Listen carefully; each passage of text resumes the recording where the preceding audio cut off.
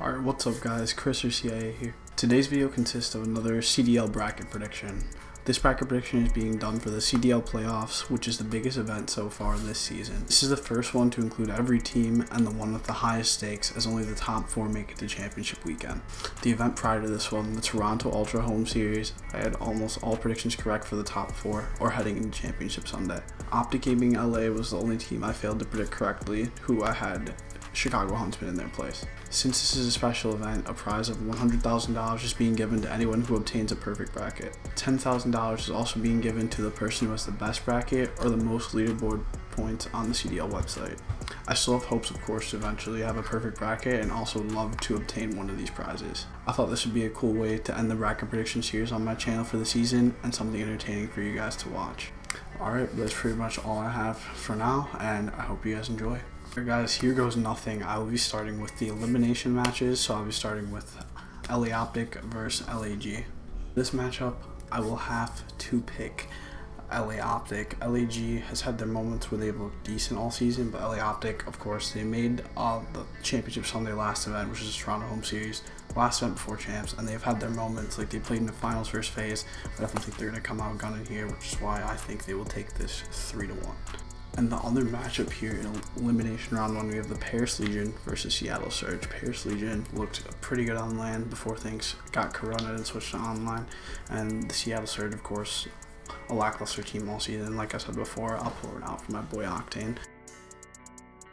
Unfortunate teams there, but I'm gonna have to give this one to the Paris Legion just for the same reason I did all season. Surge have just been lacking, and for that I'm sorry, but Surge I will say can take it to a map 5, so I'll say 3-2 in favor of the Paris Legion. Next up, winners round 1. Now he reset New York Subliners versus the Minnesota ROKKR. The New York Subliners have been a team that have been steadily on the come up pretty much all season and have now find themselves fifth place in the standings, so props to them. Now with an event win as well. Minnesota, on the other hand, on land was looking like one of the best teams in the game and it's been slowly on the decline, but they're still very much going to be looking to gunning as they've not won an event and they're one of the best teams that has not still. But I do think this one will go to New York Subliners and I do think Minnesota will be falling to losers, which is why I'll call it 3 to 2 in favor of New York. London Royal Ravens versus Toronto Ultra winners round one. The other matchup, the London Royal Ravens, they've been looking pretty good all season. They have appeared in some grand finals and have been one of the best teams in the league all season. They have not quite been a top contender, I wouldn't say, but they've held their weight and have proved that they can compete with some of the best teams in the game. Toronto Ultra, of course, just played in the grand finals and are very hungry to stay on top and to keep the competitive edges they had last event at their own home series. I do think this is going to be a very close series. Both teams are going to be coming out gunning very much, but I do think this one will go in favor of the Royal Ravens just because with the XP of the Twins and Toronto, they're still kind of a young team. They're still kind of on the come up. But I do think Toronto will give them run for the money, which is why I think this will be 3-2. Elimination round two sending home the third and fourth teams here from the CWL playoffs. First match, we have Minnesota ROKKR versus LA Optic. Both teams have had their moments where they've looked exceptionally good, of course. Like Minnesota, like I said before, was pretty much a top four team on land. LA Optic, on the other hand, has appeared in grand finals like they played FaZe, and last event they appeared they appeared T4 at the Toronto Ultra Home Series. I think it's going to be a really good series. I do think that the boys in Optic, honestly, might be going on a loser's run here. I know that they have some fire on that team and they do want to come out on top. Minnesota, on the other hand, they might be sliding a little bit here. So I do think this one I will have to give in favor of LA Optic. But I do think this series will also be close, which is why I will call this one 3 to 2. Second matchup here in losers round two or elimination round two, the Toronto Ultra versus the Paris Legion. Once again, two teams that have both had their moments. Paris, once again, was one of the best teams on land, debatably fourth or fifth, you could say up there with Huntsmen likewise, and all those other teams that have not entered the bracket yet, but have slid off as online plays continued and we're kind of in the slump for a while but recently towards the end of the season have been seeming to find their groove again which is nice but Toronto on the other hand has been looking very spicy as of recently. Of course, like I just said, they just appeared the grand finals. CleanX has been looking absolutely amazing. Props to him, and I think this is going to be a very good series as well. But I do think I will have to call this one to the boys of Toronto Ultra in a 3-2-1 fashion. Winners round two. First time we see Chicago Huntsmen and the Florida Mutineers both hit the playing field. Here we start with the first matchup Chicago Huntsmen versus the New York Subliners. We've seen this matchup before and it did not go the way we would have hoped or expected. It happened in the grand finals, the New York home series. The New York Subliners were able to pull out against Huntsmen, but I do think Huntsmen are still definitely debatably a favorite to win this event. And just with all the experience, there's lots of experience this year on both teams, but I just think with the first year franchising and just the power on Huntsmen with T2P, the Twins, and like someone clearly in the MVP run. I do think it'll just be a little bit too much for Subliners, and I do think that they will be able to prevail this time, and will take the series three to one over the New York Subliners. Other matchup here in winners round two, the Florida Mutineers versus the London Royal Ravens. Florida Mutineers, they were the Florida Onliners for a while. They were the team that really started taking off the most more than anybody else prior, or that hadn't really taken off before things switched to online with the um, addition of Owakening, the team's been looking absolutely disgusting, and they are also a heavy favorite to win this event.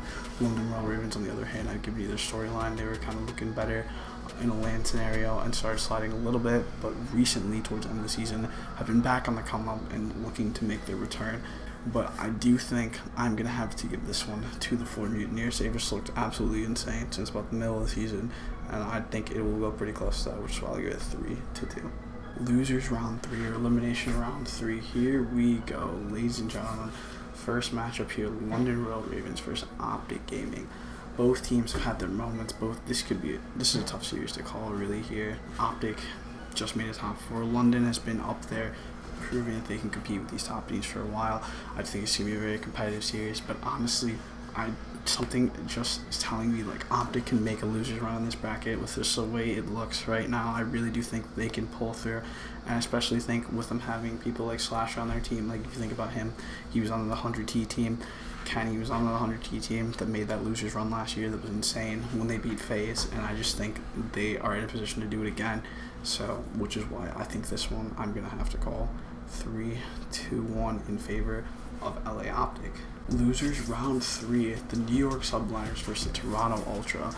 Two teams here that, once again, both clearly looked good. Both teams have been in grand finals recently. New York, debatably, you could say a top five team now. As of recently, Toronto have been looking to prove themselves. Was once the bob in the barrel, but have steadily risen to the occasion here before champs, and their team's been looking really good but I do think I'm going to have to go with the New York Subliners in this one, even with how good Toronto Ultra has looked. I think Mac has just been a great addition to the New York Subliners roster, and I think that Zoom when attached with the Champs XP and just Temp, I think that roster will just be too much for Toronto Ultra to handle, which is why I think I'll have to call this one 3 2 1 in favor of the New York Subliners. Winners round three. Your top four teams in the standings currently Atlanta FaZe, Chicago Huntsmen, Dallas Empire, and Florida Mutineers. Here we go. Alright, and first matchup we have Atlanta FaZe versus Chicago Huntsmen. Pretty much one and two for almost all season until I'd say about roughly maybe a little before halfway or halfway. Florida took over for a little bit. FaZe was in a little bit of a slide. And then, of course, Dallas with the new meta has been steadily on the rise. but These two teams pretty much one and two all season. It could easily be a year championship matchup here. Like no one would be surprised to see that happen. I think this series is going to be very very close, and this is probably the hardest match I've had to call so far. You have the uh, Tiny Terrors, clearly LeBron E United versus all the Chicago Huntsmen boys, and then you have Priestahh as well, who played on 100T last year, Major Maniac, who played on Gen G, and Cellium, who was clearly one of the best rookies last season. Both teams are absolutely insane. I do think this one, though, I'm going to have to call in favor of the Chicago Huntsmen 3 to 2. Oh, I did not mean to do that, excuse me. 3 to 2 as I do think the, the Chicago Huntsmen search has been looking very good as of recently. They can continue that, and they only have to take one respawn on Phase FaZe has been steadily on the decline in respawns. They've looked absolutely insane, do not get me wrong, which is why the series is going 3-2, and they're both sitting in winners round 3. It's really a tough matchup to call, but I just have a feeling here that the Chicago Huntsmen will be able to pull it out. I have faith in the boys, which is why I call it 3-2. First matchup here, though, Atlanta FaZe versus Chicago Huntsmen. We have a T2P Envoy and the Twins versus the Tiny Terrors, Cellium, Major Maniac, and Priestahh, uh, excuse me.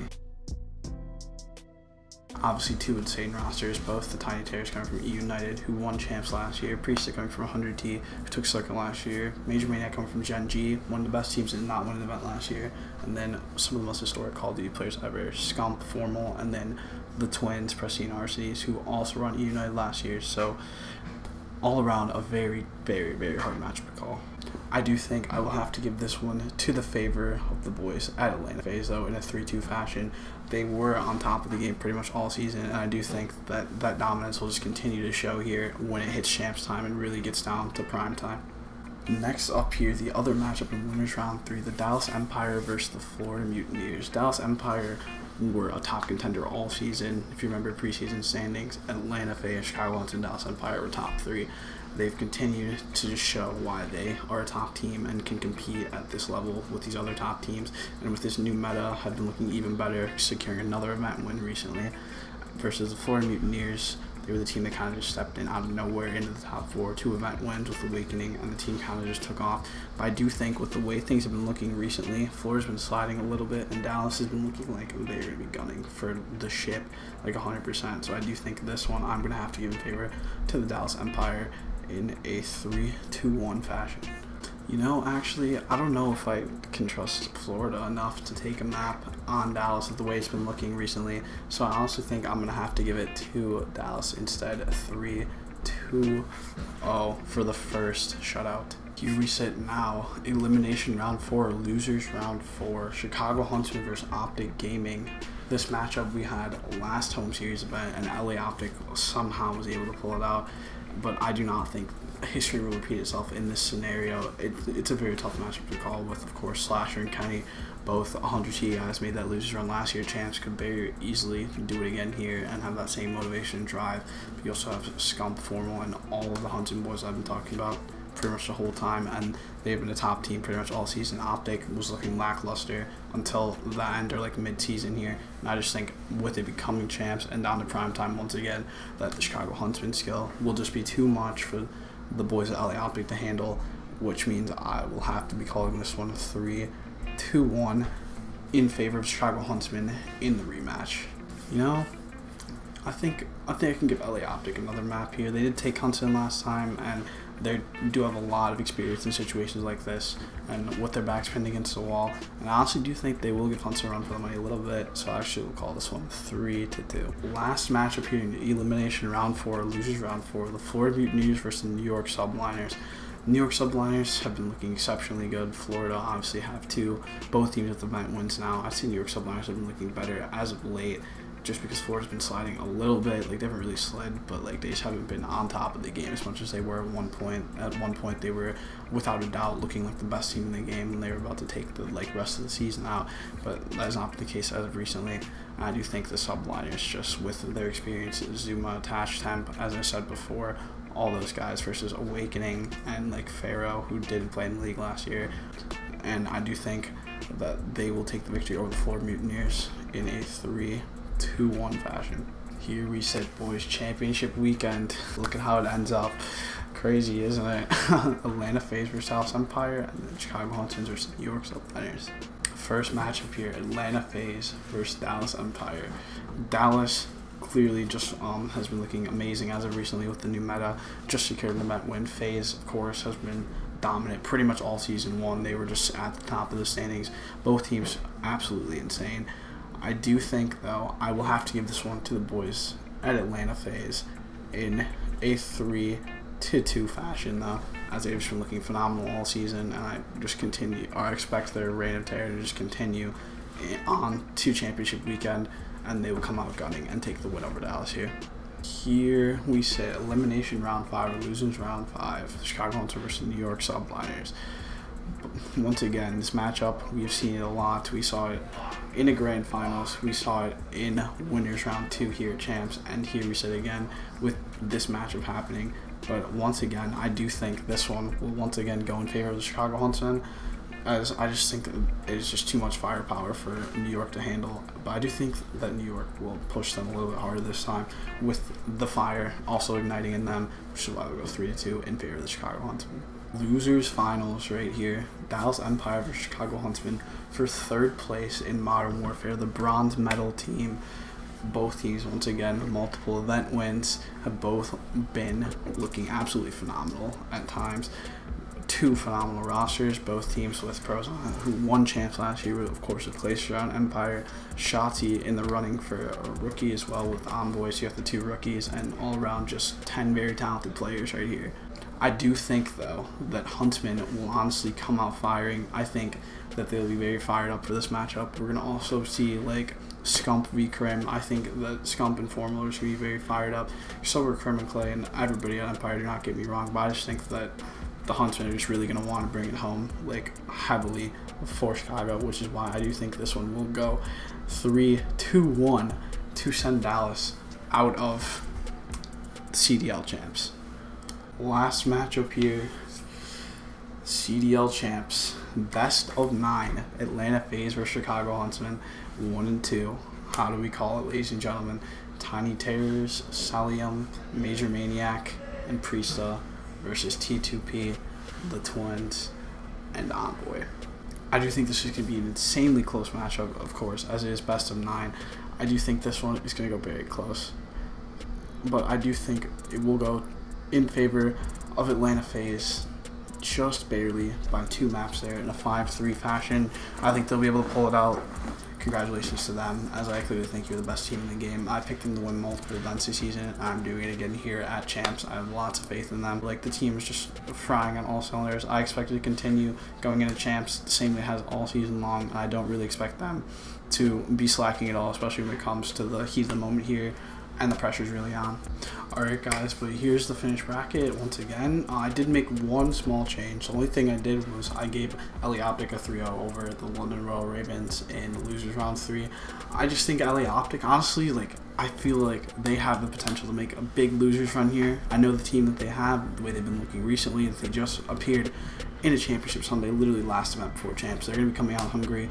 London's a good team, but I just feel like LA Optic honestly might shake up some noise here in the losers bracket, which is why I just gave them a 3-0 here, a hot 3-0. Alright guys, but other than that, that's pretty much it. Once again, congratulations to Atlanta FaZe. I have you guys being the winners of Call of Duty Modern Warfare, uh, competitively speaking, and here we go boys alright guys that's pretty much all i have for the video today i would first off like to thank you all for your support on these all season long i've had a really fun time making these bracket predictions and i think it's awesome how much you guys seem to enjoy them as well and how well they've been doing I would also like to wish all 12 teams the best of luck throughout playoffs, and I can't wait to see how things look come championship weekend. I really did enjoy making these a lot and love to continue this series next season.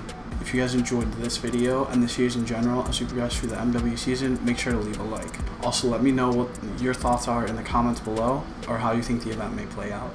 As we enter the off season here, I plan to upload more content to my channel for you guys to enjoy. But until next time, I hope you guys enjoyed, and it's been CIA. Peace.